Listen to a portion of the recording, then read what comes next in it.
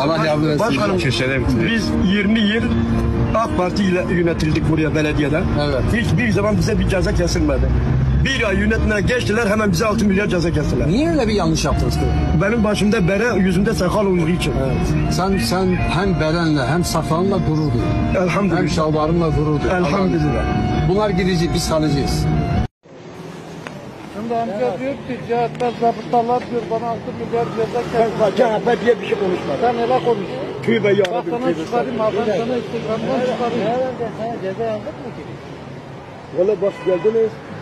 Defteri buraya indirdiniz. Ceza var mı? Bir tutanağı verdi. Ben bilmiyorum. Yok 20, vermediler. 20 yıl diyor AKP buradaydı bana ceza yazmadı diyor. Bunlar geldi bir ay içinde. yazdık mı sana? Instagram'da ben sana çıkarayım. Defteri çıkardılar. Dediler kimliği Ben de onu yok.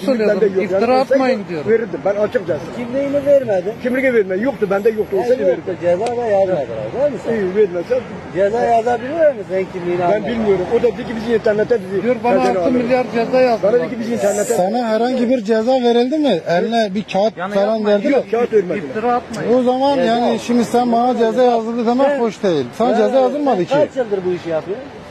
Ben çoktan beri yapıyorum. Biz zabıta da hep aynı zabıtayız.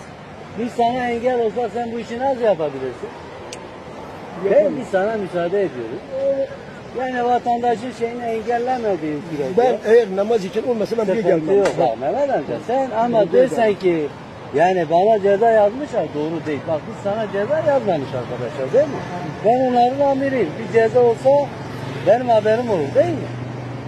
Vallahi Ama doğru haber değil yani. Bak, çıkaran aynı senin gibi rotası vardı. Ben onu biliyorum. Yani kısa boyluydu. amca bak sana ceza yazsa